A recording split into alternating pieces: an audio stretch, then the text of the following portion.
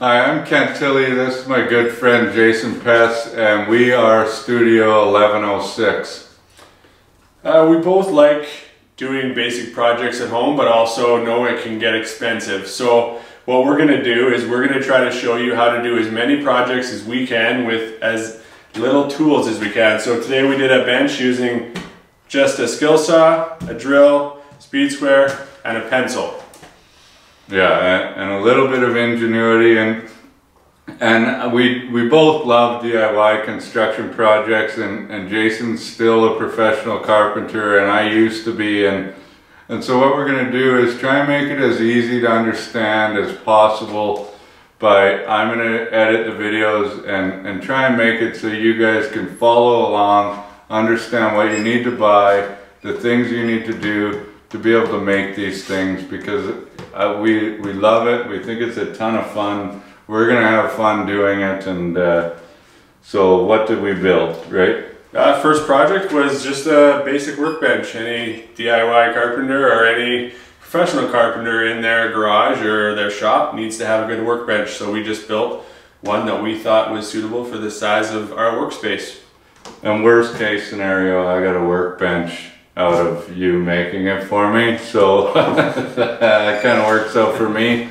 Uh, yeah, so we're to try and put out videos every single week, just projects we know a lot of people do and, and that we've done in our own homes, just using basic tools. So please subscribe to our channel and, uh, and we'd love to hear from you and, and give us your ideas if you want to know how to build something because we'd, we'd love to build it for you and we look forward to hearing from you and building some more in the future.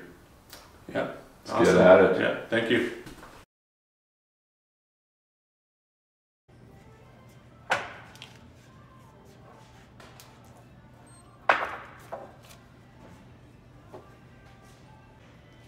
You see how that curves to the left?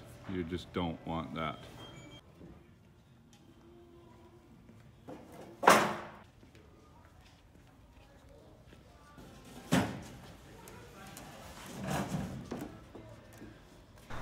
Tonight we're going to make a workbench and the top of the workbench we're going to make it to the top of this table saw. The table saw is 35 inches in height. So if you're going to cut your posts, you're not going to cut them at 35 inches. You're going to take off whatever material you're going to put on the top. We're going to put an inch and a half and 3 eighths on the top. So we got to subtract an inch and 7 eighths from 35 inches. That brings us to 33 and an eighth. And you're going to cut your four legs at 33 and an eighth.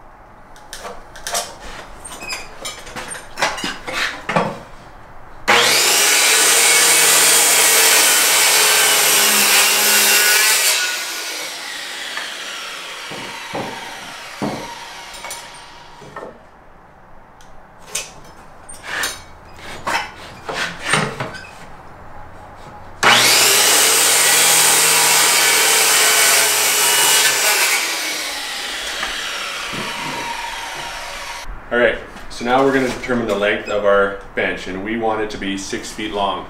So just like the top of the bench, we're gonna have to take off the inch and a half for both sides of our two by four. So right now, if we cut our two by four six feet and then we put our two by four outside collar on, we'd have six foot three.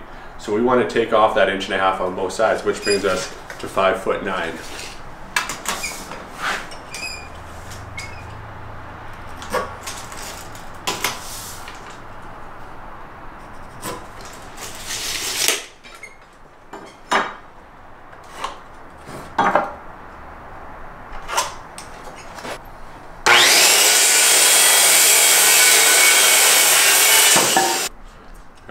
So we're going to use 2 by 6s for the top of our table. We've determined earlier that the length of the table is going to be 6 feet. So I'm going to cut 5 of these at 6 feet. The reason I'm going to cut 5 is because we thought that 5 was a good fit for this space. You don't have to go 5, you can go 3, you can go 6, you can go whatever you want, but 5 2 by 6s equals 27 and a half inches. So that's going to be the total width of our bench. I'll show you on the ground after I cut these.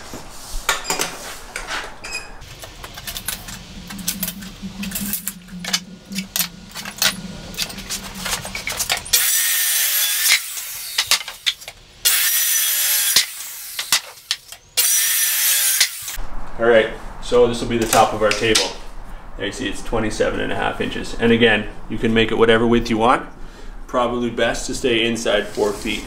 A sheet is four by eight. All right, we're now gonna cut the collars for the width of the table. we already determined that the table is gonna be six feet in length and 27 and a half inches in width. So I'm gonna cut this collar 27 and a half inches. Do you wanna zoom in here? Yep. When I'm making my marks to cut, I always put a little tick on the side I want my saw blade. So after I square it, I know I'm going to run my saw on the left side of the tick. Why is that?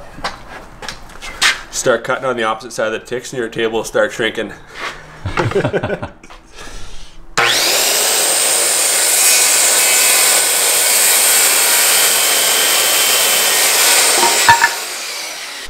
All right, if I didn't cut on that side of the tick, I'd have 27 and 3 eighths. All it took was 17 cuts to get the material we needed to build our workbench. Now we're gonna start assembling it.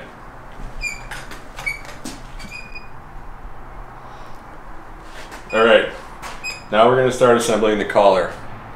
This is actually the top of the bench, but I'm gonna screw it together because I got a nice flat surface here and it, it allows me to be able to do this by myself and not having someone hold it up 35 inches above the ground. We chose a number 12 screw. The higher the number, the stronger the screw. Some people might use lag bolts, some people might use deck screws. We just went with a beefier screw. Saves on cost as well. Yeah.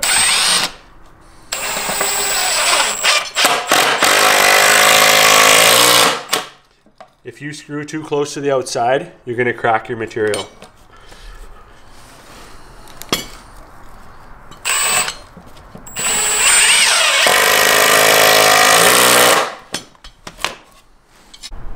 All right, we've done our side rails. Now we're gonna put our end rails on. This 27 and a half inch by inch and a half, this inch and a half is gonna make up the remainder of our six feet. We cut the sides to five foot nine. Inch and a half on both sides gives us six feet.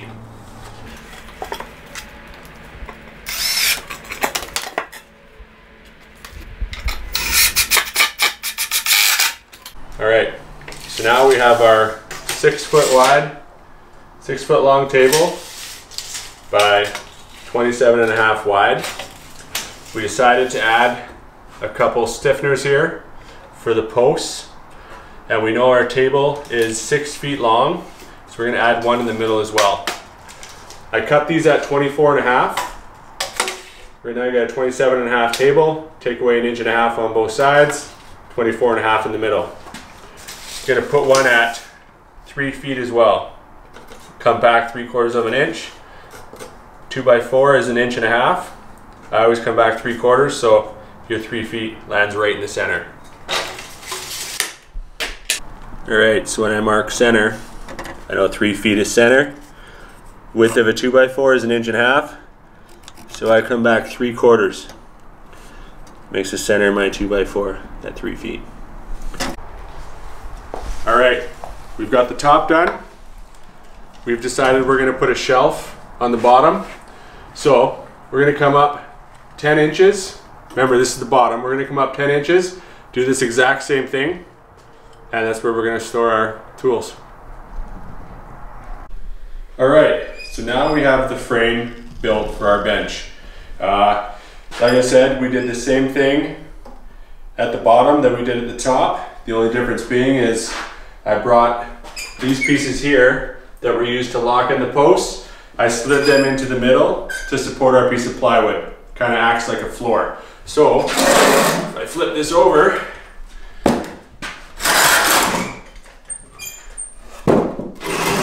now we're plywood here and our 2x6 is here. All right, so now we're gonna start the top. Now I know that the bench is six feet long by 27 and a half. So we're gonna start at one end, start screwing our our tops. All you need is a deck screw for this. You don't need the heavy duty number 12s.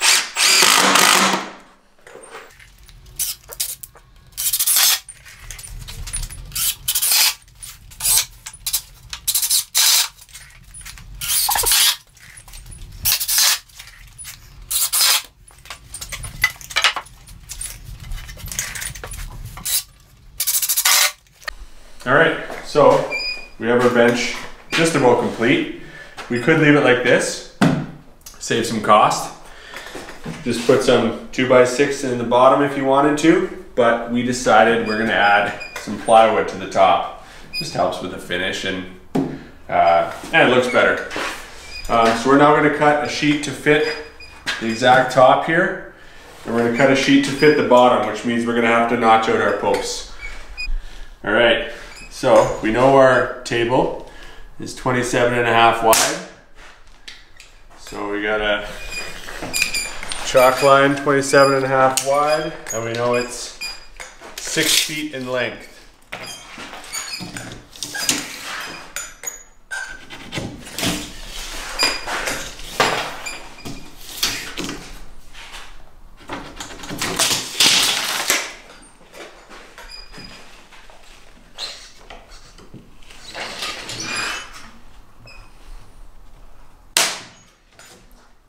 So I'm gonna cut this and see how it fits.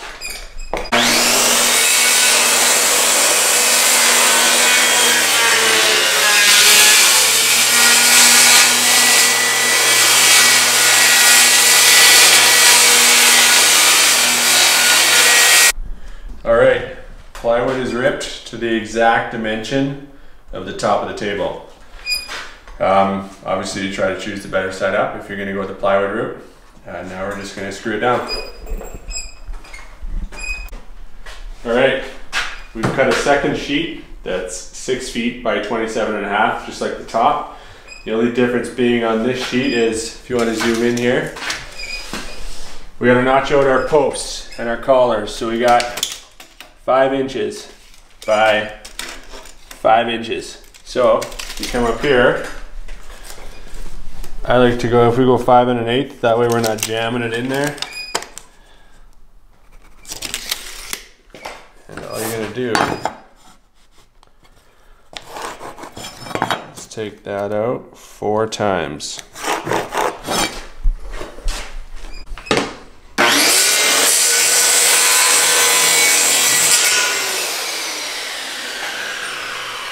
All right. We got our top plywood, our bottom plywood, ran into a bit of an issue. We had a puzzle we couldn't solve, so we had to cut plywood on one of our joists. So all we did was come in two feet, cut it, and we screwed it down. Uh, we've decided to put on one more collar. It's just gonna hide the layered wood there. Uh, so we're gonna cut these guys at six feet, and then we're gonna cut the end guys at 27 and a half. And you'll see when it's done.